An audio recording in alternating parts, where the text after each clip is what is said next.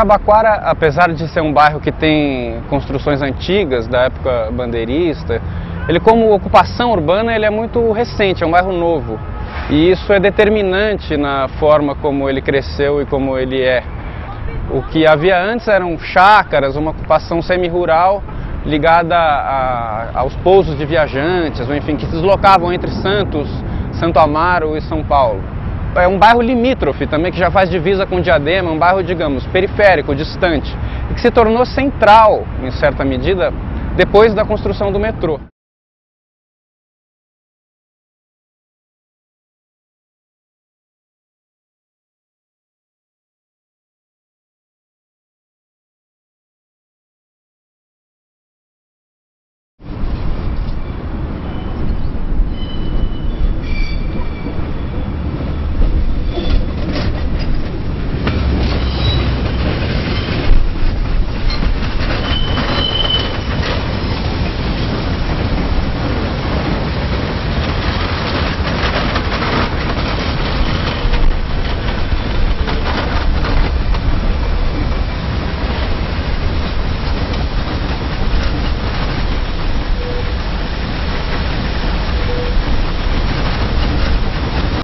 Na construção, é, houve necessidade de fazer escavações.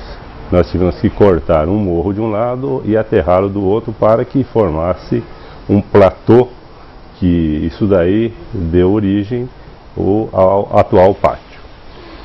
Foi o primeiro pátio construído pela companhia do metrô para a linha 1 azul e que está operando desde 1974. É uma área muito grande e ela é totalmente ocupada por vias de metrô, blocos de manutenção, esse que nós nos encontramos agora, que é chamado bloco F, que é o bloco de controle da operação do pátio, era uma paisagem de periferia.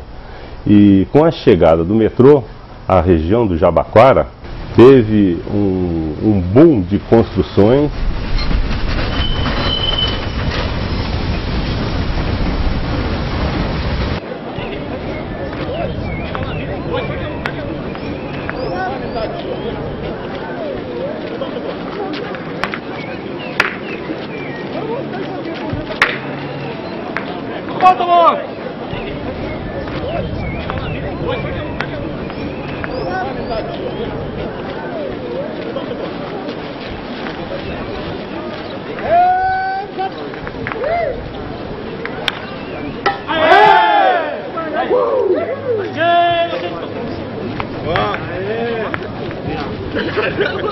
Essa modalidade esportiva, na verdade, foi criada por um cidadão japonês logo após a guerra.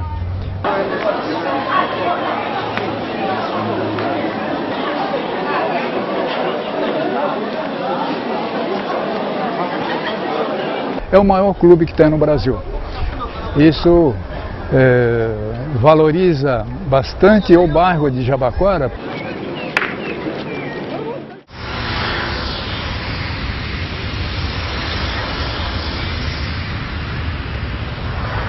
A Seichone iniciou há mais ou menos 75 anos no Japão, que prega todo homem é perfeito porque é filho de Deus. Seichone está instalado num bairro maravilhoso que chama bairro Jabaquara, da cidade de São Paulo. Em 1940 começou a ser loteada a Cidade Vargas, que foi um bairro planejado, aí já eram casas uma do lado da outra. E depois que todas as casas estavam instaladas, eles viram que faltava um monte de coisa. Não tinha asfalto, a água era barrenta, não tinha luz, não tinha escola, não tinha ônibus. Para a gente conseguir alguma coisa, nós vamos ter que formar uma associação de morador. E foi aí que se reuniram e é interessante que um dos primeiros que assinou essa ata da criação da Sociedade Amigos da Cidade Vargas foi o Wilson Fittipaldi, que pai do Emerson Fittipaldi. É considerada a mais antiga sociedade de amigos de bairro do Brasil. Nós tivemos, por exemplo, o privilégio de ter como nossos vizinhos a Gal Costa, Caetano Veloso, Gilberto Gil, Betânia, né? E muitas vezes a gente andava de bicicleta, encontrava com eles também andando de bicicleta, eles faziam saraus.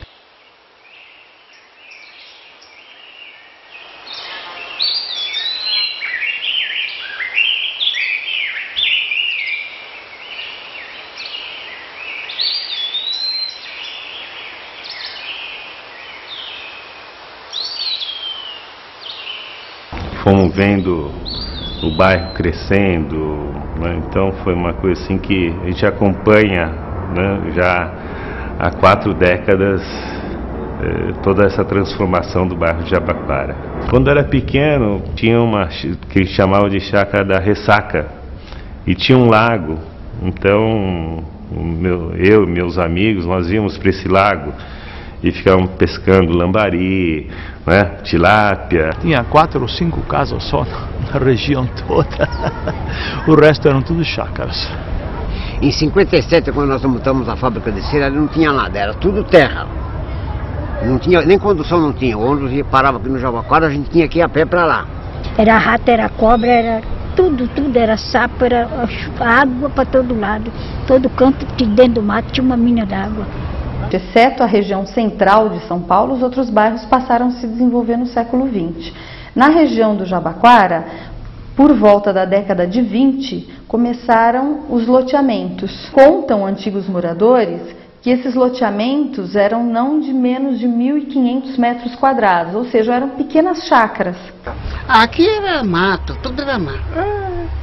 Aqui era mato, tudo mato tudo mato, tudo mato, tudo mato. Tinha até um senhor que criava gado, criava vaca, tinha cavalo, tinha tudo, era tudo aquele matarelo. Era difícil, não tinha, não tinha açougue, não tinha, não tinha armazém, não tinha. Depois foram fundando, né? Todo mundo utilizava água de poço. Todo mundo, era normal até então. Passava aqueles, ah, aquelas pessoas com cabra, vendendo leite, aquele coisa de cabra com sino no pescoço. Tinha muitas chácaras. Tinha outra dona Isaura, ela vendia verdura e eu ia comprar verduras lá. Aí encontrava alguma vizinha. Tinha grande, a chácara era imensa. A gente até ia lá e roubava umas florzinhas para dar para a professora. Aqui o parque de Jabaquara era tudo eucalipto, era cercado, não, a gente não entrava. E ali tinha muitos pés de pinheiro e as pessoas no domingo costumavam fazer piquenique. Levava sua cestinha lá com as suas guloseimas e todo mundo aproveitava. Pátio, por exemplo, do, do metrô é, chamava Ressaca. Parece que ainda tem até hoje um nome desse. E a gente está aqui em frente ao sítio da Ressaca, né? E ele é provavelmente data de 1719 até a data que a gente tem na soleira do, do, do, do sítio da Porta, então seria um século XVIII, é uma das casas bandeiristas mais antigas aqui da cidade de São Paulo. E uma das características dela, que é, que é importante frisar, é que ela é toda feita em taipa de pilão, que seria uma técnica de barro socado, né, que foi trazido pelos portugueses foi muito importante em São Paulo, no começo da cidade de São Paulo, né, porque a cidade, na verdade, quando os viajantes passavam por aqui, eles conheciam a cidade como cidade do barro, porque ela era feita toda em taipa, né, em barro. Na minha rua era terra, não tinha esgoto, não tinha luz.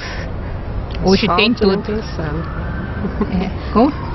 Asfalto nem pensar naquele ah, tempo. é, asfalto, agora tem, tá, né? Tá tudo moderno, mas antigamente não tinha nem asfalto, nada, nada, nada. A fazenda era ali, era a fazenda Jabaquara, inclusive, né? Então a sede da fazenda era em frente à capelinha, que aquela capelinha que existia antigamente fazia parte da fazenda. Inclusive dizem que o local ficou mal assombrado porque tinha muitos escravos. Então o pessoal diz que até hoje escuta os gemidos, arrasta corrente, à noite lá ninguém fica, viu? Não tinha padre no bairro na época. Tinha um frei que ia rezar uma vez por mês a missa. Meu pai fundou o Colégio Abaquara, ele fundou com o nome de Externato São Francisco de Assis, em 48. Em 49, ele fundou o ginásio Jabaquara, junto com o Senado São Francisco de Assis. E daí para diante, nós ficamos sempre aqui no bairro, fizemos história aqui no bairro. O bonde passava em frente, que era o bonde Camarão, chamava, né? Era 59, né? O bonde Camarão era um bonde fechado. Era fechado, ele não era aberto que nem os outros, não. Era avermelhado, que nem cor de camarão. é assim. Aqui na frente, aqui, tinha um cinema aqui na esquina, chamava Cine Maringá. Isso também já foi uh, destituído há muitos anos também. A colação de grau, fazíamos no aeroporto, no tempo que tinha os bailes do aeroporto famosos, e eram feitos no aeroporto os bailes de formatura. Muitas áreas foram desapropriadas para a construção de grandes avenidas, para a construção do Hospital Saboia, para a construção do Centro Cultural do Jabaquara, uh, que seriam benefícios para o bairro. Só que isso acabou com o verde que existia ali. Uma área remanescente dessas antigas chácaras é o atual Parque da Conceição. Um fragmento, é uma cena de quatro minutos, que na verdade é o texto que ganhou aqui o concurso no Jabaquara, que hoje é a canção do Jabaquara que ganhou em primeiro lugar. Então ela faz parte da encenação Jabaquara, a terra de um sonho cidadão. Jabaquara, medo dos coronéis! Medo do Jabaquara, a terra de um sonho cidadão! Olha, o bairro mudou bastante, né? O que ganhou de bom foi a a infraestrutura, né, que melhorou muito, luz elétrica, é, é, água encanada, que antigamente não tinha, asfalto, esgoto, rede de esgoto, então só melhorou. Mudou 100% para melhor. Não tinha nada na Santa Catarina. Hoje tem tudo quanto é banco na Avenida Santa Catarina. É um movimento tremendo ali. É, ele melhorou para melhor porque teve progresso, teve desenvolvimento, é, estação do metrô, é, rodoviária para a Baixada Santista, né? Por um lado, ele é muito movimento, né? Prejudica. Mas por outro lado, é necessário. As pessoas não têm como se locomover, né? Isso trouxe uma revolução. Muitas obras, prejudicou os comerciantes, porque as ruas ficavam fechadas por muitos anos, né? Durante as obras do metrô. O bairro, aliás, tem muita história no que diz respeito a desapropriações pensar que logo em seguida vem a construção da rodoviária intermunicipal, é, da rodovia dos imigrantes, né, e lembrar da existência do aeroporto nas proximidades. Então é, é uma sequência de aportes infraestruturais muito importantes do fluxo viário estrutural da cidade. Né? À medida que, em que isso se implanta, um bairro sem nenhuma densidade histórica, como o Jabaquara, quer dizer, ele não se formou como centros antigos com seus usos sendo sedimentados ao longo do tempo, não, ele se formou por uma atração muito rápida. Então, eh, essa atração do dinheiro que, que é dada pela infraestrutura cria desigualdades muito grandes, quer dizer, terrenos baratos que são valorizados, que são comprados pelo mercado, também atraem populações carentes que querem é, suprir de serviços esses novos usos. Então, a situação de desigualdade muito grande do bairro é determinada por essa construção nova dentro do mercado. Porque para mim, Jabaquara tudo é bom. Eu me orgulho do Jabaquara. A única coisa que eu acho assim, que é um pouquinho ruim, eles não vê o bolsão de pobreza que tem no Jabaquara. O Jabaquara ele tem mais ou menos uma média de 280 mil moradores. Né? 75 mil estão nas favelas do Jabaquara. Né? Então nós somos um quarto da população do Jabaquara. As pessoas quando entram para o Jabaquara, vê aquele prédio maravilhoso do centro, né, do, do, do, centro do aço. Então o que, que acaba acontecendo? Né? Eles têm uma visão totalmente errada do nosso bairro. Né? Nossa, olha o Jabaquara, que bonito. A engenheiro, a engenheiro George Rubiziera, a engenheiro Armando Arruda Pereira. Né? Mas eles não vêm aqui para essas é, é, essas, esses cantinhos mesmo aqui, aonde fica Passos Córrego, aonde estão essas comunidades. Então não é fácil, não é brincadeira, é difícil para todos nós que moramos aqui, né? nós somos excluídos, esquecidos.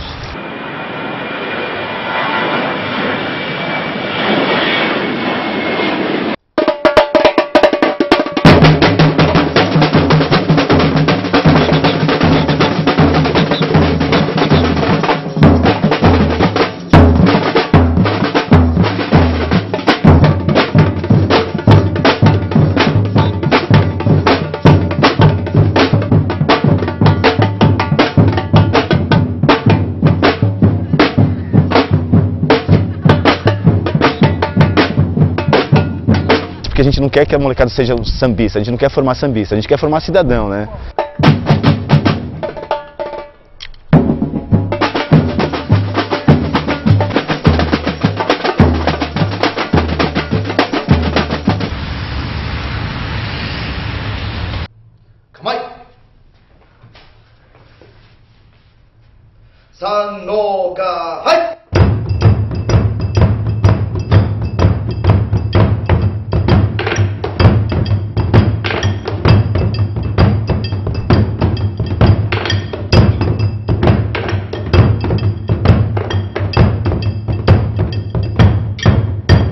Nós somos chamados para fazer apresentações em casamentos, festivais, tanto aqui em São Paulo como fora de São Paulo. A maioria dos tocadores mora aqui, um grande núcleo japonês aqui, tem o clube aqui do lado, que tem reuniões japonesas e tudo mais.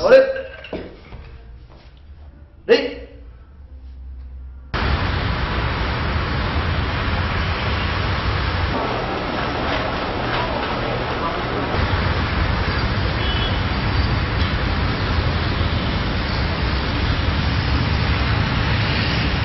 asa de frango foi um achado assim por acaso, né? Que veio uma firma, fez uma entrega errada desse corte e não teve como devolver.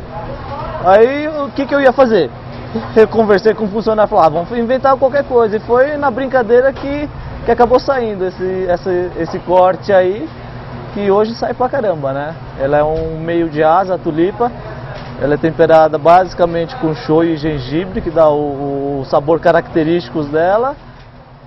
E ela fica uns dois dias temperada e a gente assa. Aí dá todo esse sabor diferente nela. E o público nosso, ele, é, nós temos bastantes orientais, mas não chega a ser grande, grande parte, não chega a ser 50%. Mas o público dessa asa não é, como você pode ver agora, ó, não tem nenhum ó, oriental na loja né? São mais nós mesmos, ocidentais mesmo agora, né?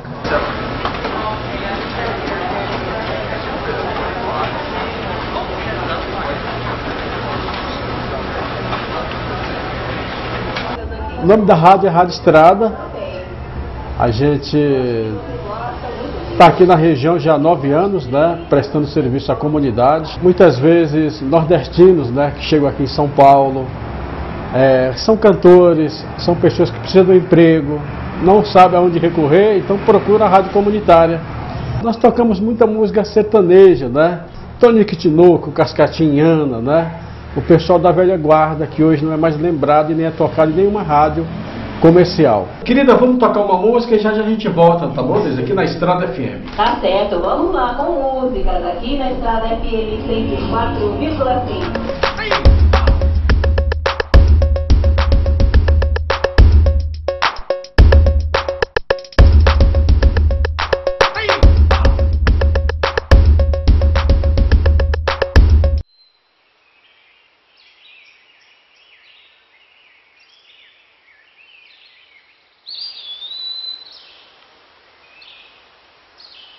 Público frequentador aqui do Acervo sempre foi muito eclético, né? Muita gente do bairro e muita gente de outros, de outros locais, de outros bairros da cidade de São Paulo, que procuravam principalmente para essas atividades afro-brasileiras que não tinha publicamente em nenhum outro lugar da cidade.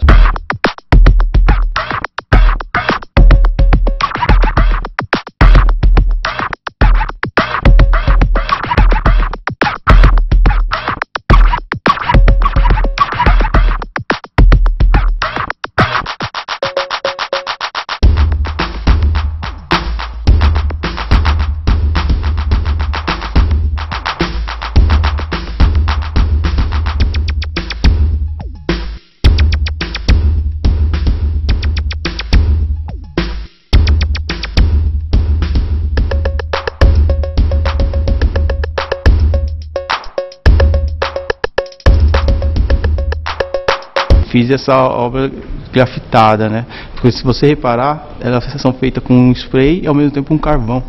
E eu quis trazer a relação da pré-história, que seria que a obra pré-histórica era feita com carvão, e trazer a relação atual, que é o grafite feito com spray. E quis trazer também a africanidade do bairro, né? Porque conta-se, comenta-se que o bairro era um quilombo.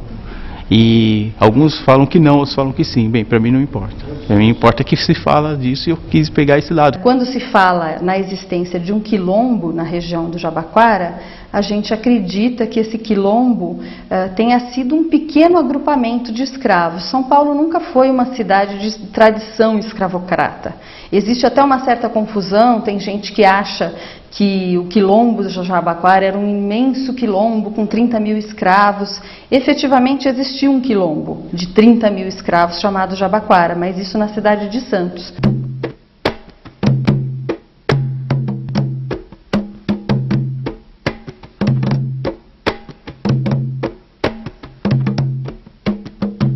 Nós cultuamos todos os orixás e todos os orixás têm a sua festa. Além da sua festa, tem o dia que nós fazemos um open door e damos o bi de equilíbrio. É uma fava na qual nós rezamos na cabeça das pessoas para que eles tenham equilíbrio de vida. Com isso, nós tombamos. Foi o primeiro axé, primeira casa tombada. E nós, então, uh, trazemos isso com muito rigor e estamos nos aprofundando cada vez mais na história, na africanidade e na história afro-brasileira. Damos assistência aos velhinhos e temos também uma creche com 150 crianças.